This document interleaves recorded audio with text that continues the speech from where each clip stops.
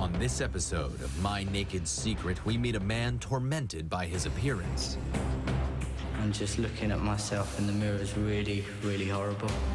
Years of taunts and bullying have left his self-esteem in tatters. I wouldn't talk to anybody about it. And I just sort of close myself away and go into my own little world.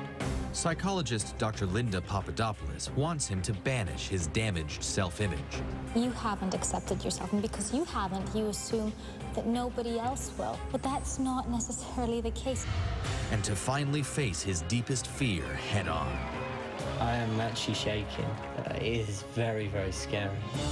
All around us, people are desperate to end their body shame, prepared to do whatever it takes. This is my last shot. But will it all be worth it?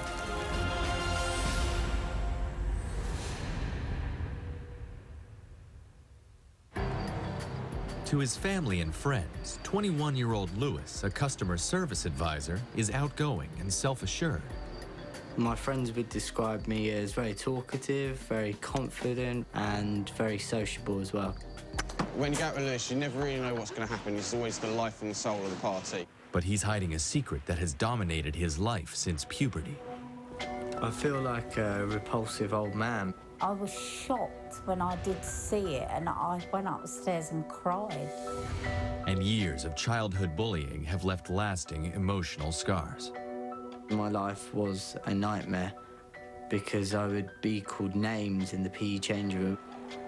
I do fear that I would be bullied if people did actually see the problem. It's leaving him terrified of intimacy and unable to live life.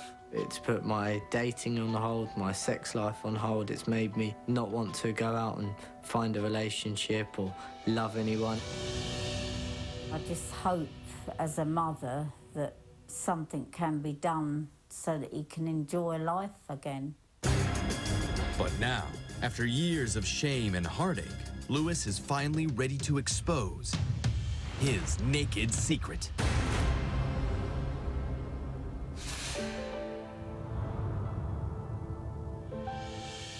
I do feel trapped in my own clothes because it does prevent me from doing a lot of normal things that a normal guy my age would do, like going to the gym, going swimming. I absolutely hate taking my top off. It's like the worst thing ever. I don't think it's normal for a guy my age to have this much hair. And just looking at myself in the mirror is really, really horrible. As much as I wax and shave it, it doesn't make any difference because it just grows back 10 times worse. When I'm touching the hair, it feels absolutely disgusting because there's ingrown hairs as well. Some actually just fall off in my hand. Now I don't feel attractive at all. Not with all this excess hair over my body. I don't think anyone would find it attractive. Growing up, Lewis's childhood was a happy one. When Lewis was younger, he, he liked to go out places. He used to love swimming and spending time with the family. However, things changed when at the age of 12, he started to grow excess hair on his back, shoulders, upper arms, and chest. When I first noticed I was different was seeing other boys at my school and I saw that they didn't have as much hair as me. Lewis became the object of bullying and ridicule. They just call me names like monkey, gorilla. It was very, very hard. I wouldn't talk to anybody about it. And I just sort of closed myself away and go into my own little world. He began going to extreme lengths to conceal the body hair he hated. I'm so self-conscious about my body. Sometimes I have to wear two or three tops to actually cover up the hair. As much as I shave or wax the hair, it just grows back 10 times thicker. Mum helps me groom by waxing my back, waxing my chest, waxing my arms. It really, really hurt. Last time when you done it, my back was bleeding. Ah! Oh! That absolutely kills.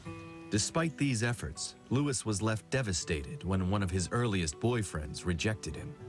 My lowest point was when my partner actually eventually ended the relationship because of the condition. It made me feel that I hated myself.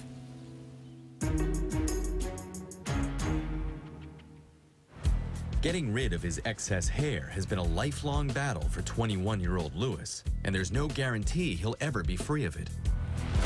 Psychologist Dr. Linda Papadopoulos wants to help him overcome the lasting effects that growing up with the condition has left him with.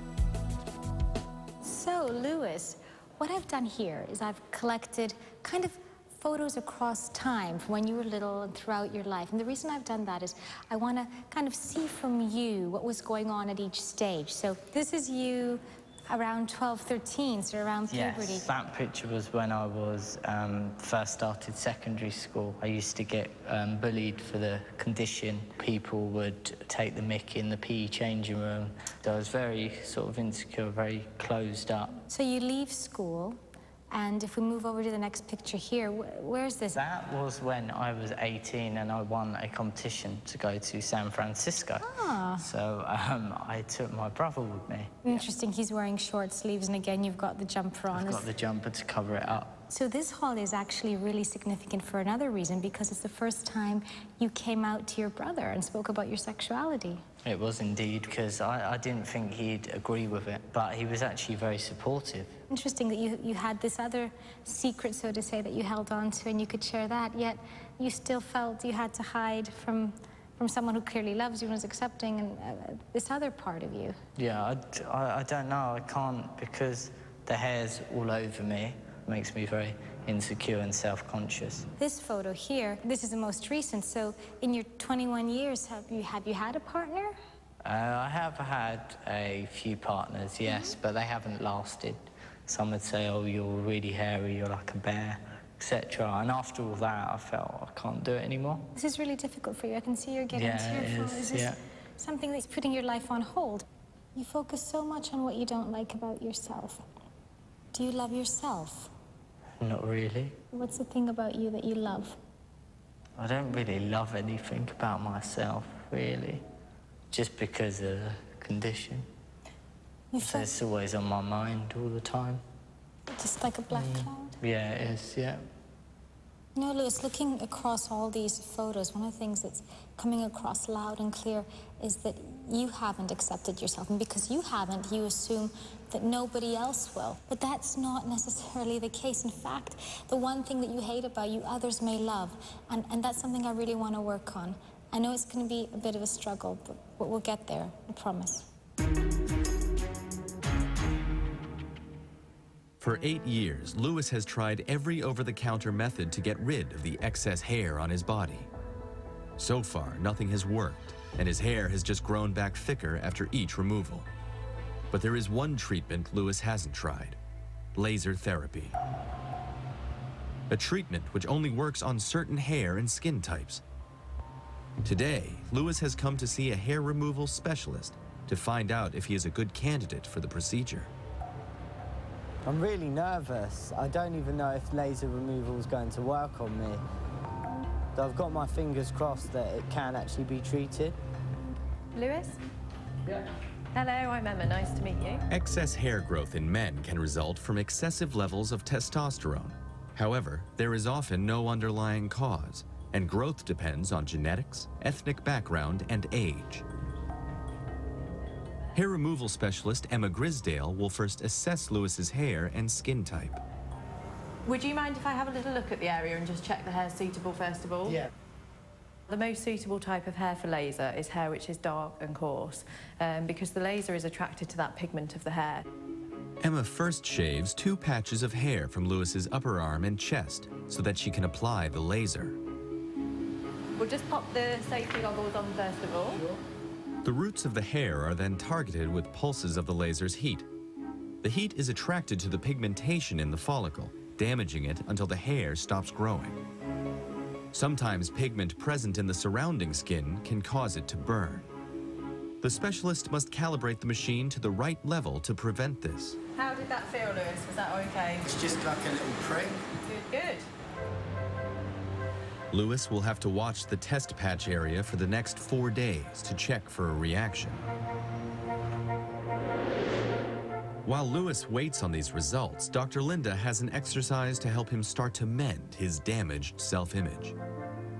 Lewis's self-consciousness about his body hair has gotten so bad that it actually prevents him from meeting men and having a healthy relationship.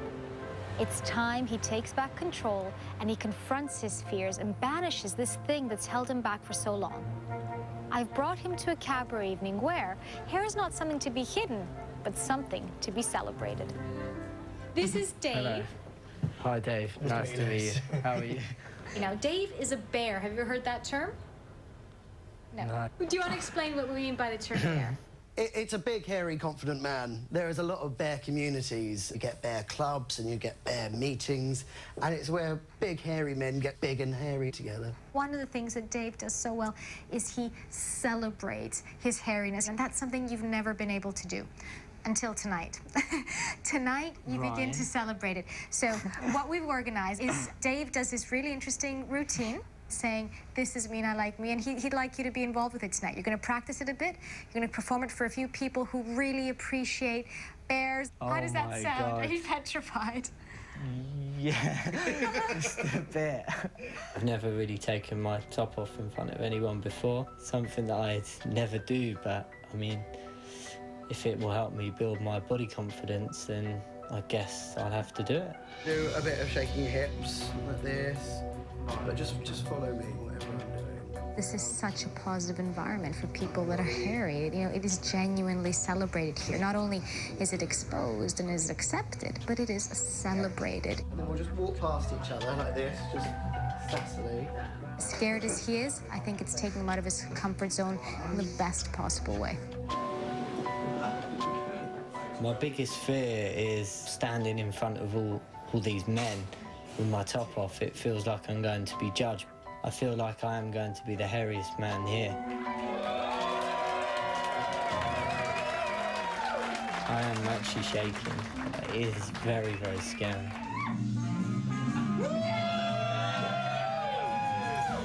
After years of hiding and avoiding intimacy to protect himself from criticism, Lewis prepares to reveal the body he hates to a room full of strangers.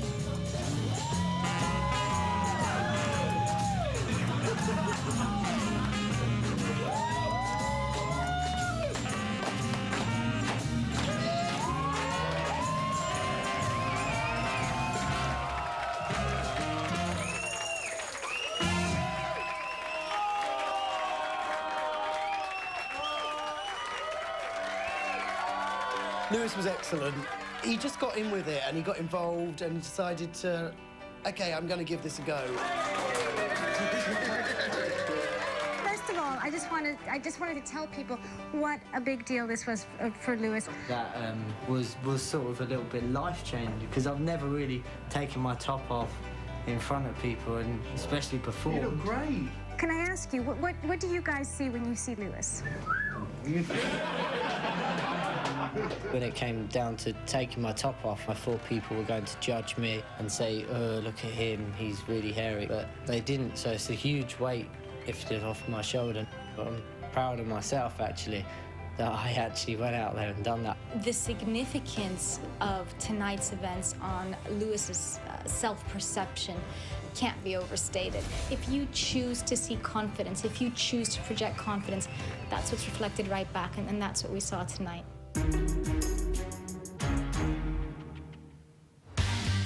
Still to come, Lewis confronts his closest friends with some hard truths. Sometimes when you two joke, I take it personally. It does affect me. And he starts the treatment that could change his life forever. But will it come at too high a cost? That was the most painful experience ever in my life.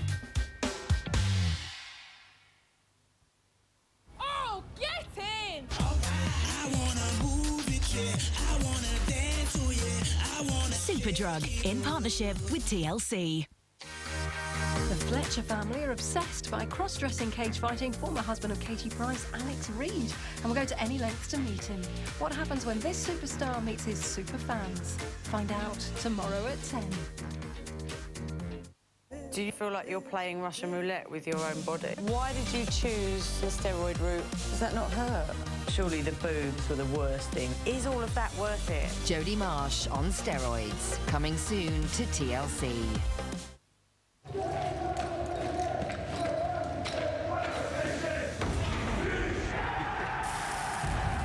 Every time the houses are lit, the smoke goes up, it goes onto the walls, and it adds flavour to the fish. Whoever it was, whether it be Dad, me, or Dave, that's three generations been smoking these haddock.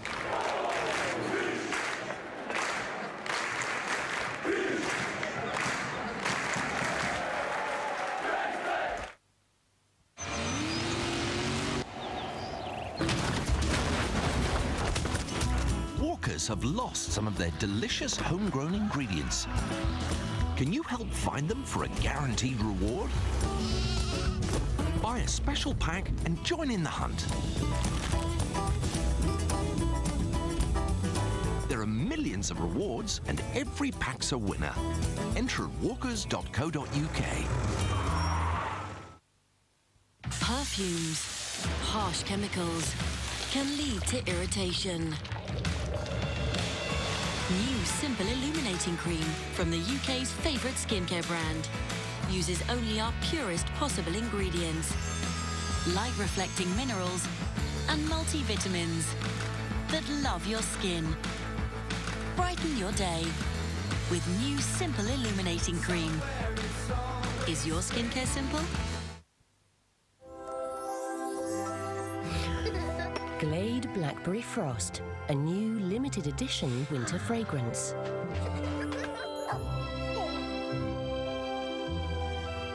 That brings people together. Glade, fragrances that bring home the real warmth of winter.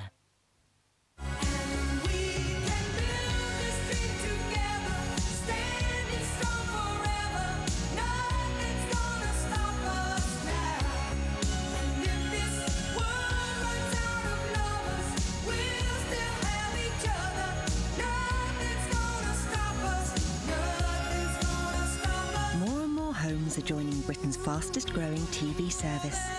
Talk Talk TV, a brighter home for everyone. This year, Crocodile Supreme. It's survival of the tastiest. Oh. Cloudy with a chance of meatballs, too. Imagine beautiful.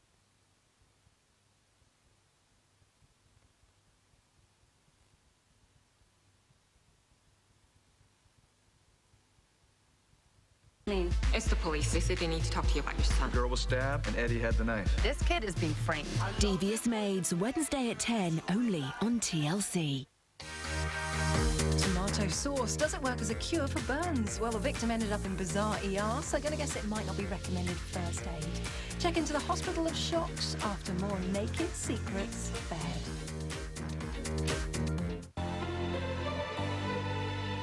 21-year-old Lewis suffers from excess body hair, which has brought his life to a complete standstill. Can't do normal things that a normal guy my age would do. For example, going to the gym, going swimming, taking my top off on the beach. His fear of others' reactions to it is crippling his confidence, leaving him petrified of intimacy. It's made me not want to go out and find a relationship or love anyone.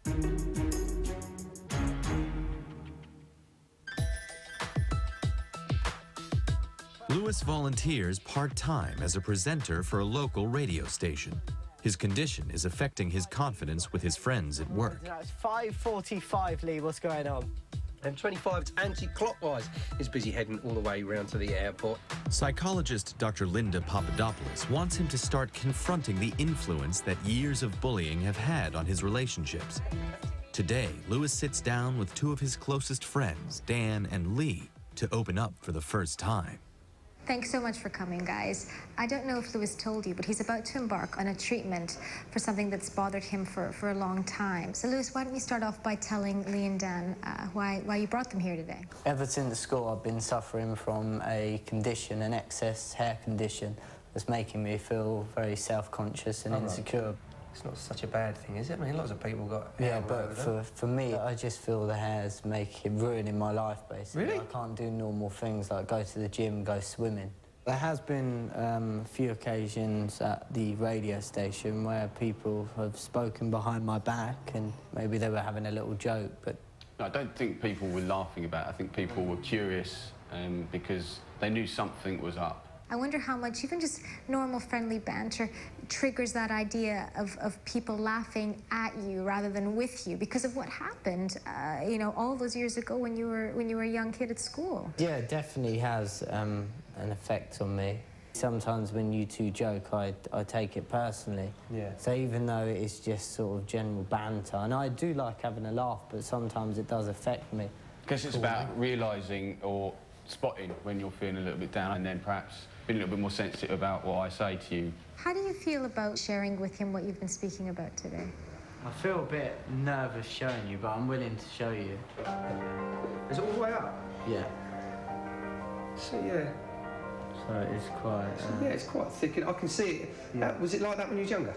Um, I'm not as thick as. Obviously, coming from as, as young as it started, that's obviously where the problems for you started. To open up to Lee because he is quite a jokey person. I'm surprised he, he was actually very, very understanding, and that's good to see. This bully that lived in his head has been there for far too long, but he, you know, he faced that fear today, and I think he will have gone a long, long way in banishing that bully. While Lewis starts to come to terms with the emotional effects his excess hair has caused him, he still yearns to rid himself of the hair he despises. A week ago, Lewis had laser hair removal patch tests on his upper arm and chest. To his immense relief, he has suffered no ill effects. So today, he is back for the one treatment he has never tried before laser therapy. I am nervous because with any treatment, you don't know if it's going to be successful. There are always risks. I've been waiting for this day ever since I was sort of 11, 12, and it's a very, very big day for me. Hello, nice to see you again. How are you? See you. Not Do you want to come through? This is the first of six full upper body treatments that Lewis will need to rid his body of hair. He is marked up with chalk to ensure that no area is left untreated. The hair removal sessions are spaced six to eight weeks apart, costing up to 4,000 pounds for a full course. Where the hair does get quite dense, um, you are going to feel it more for the first few times. The laser targets the hair just beneath the skin. The procedure can be quite uncomfortable as the root of the hair is damaged with an intense pulse of heat. Lewis will need to bear the pain for several hours. Should- Once we get off this little bit where it's more, I've got just a couple more lines to do. Okay, so what's going to happen over the next few weeks, where we've lasered all the hair, you are going to see little speckledy bits like you can on the shoulder there, um, and that's just the hair still in the follicle. Okay. Thank you very much. That's all right. All good. That was the most painful experience ever in my life. I've never experienced anything so painful than that. And it isn't over yet. It will take two weeks for the damaged hair to fall out, and Lewis will have to return for five more lengthy treatments, coinciding with each new hair growth cycle. The aim of the treatment is to stop his follicles from producing hair altogether. But will it work, and will Lewis be able to endure the pain?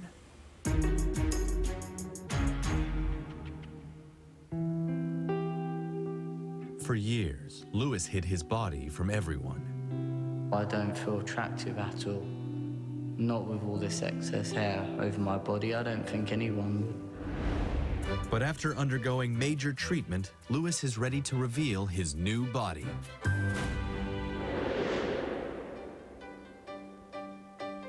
I hated looking in the mirror so, so much. I felt disgusted with myself, but now I can look in the mirror and feel proud of myself. I was wearing jackets and cardigans to actually cover up, but now I can wear tops like this that are low. It is definitely easier for me to take my um, clothes off now. I'm not scared of taking my top off at all. Before, I felt like an absolute freak. When I looked into the mirror, it looked like I was actually looking at a monkey. I feel absolutely amazing about my body now. It looks so good. Nobody can really sort of laugh at me. Feel like a normal 21 year old. The part I hated the most was actually my back. It feels really good. It's so smooth now. Dating will be really, really good now. I'll be happy to go on dates. I'll feel proud. I see a new and improved Lewis.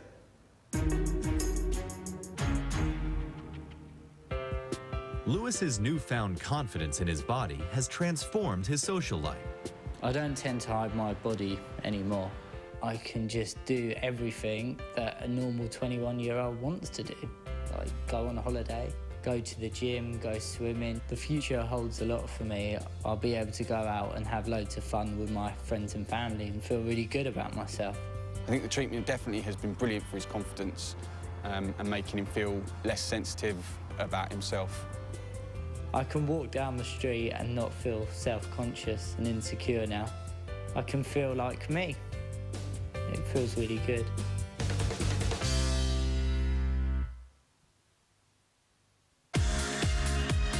Superdrug in partnership with Um,